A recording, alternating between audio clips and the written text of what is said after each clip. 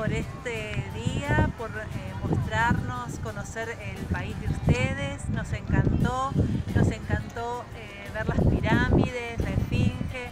Nos, gustó compartir eh, con nuestro guía, Sabri, este momento. Así que estamos muy agradecidos.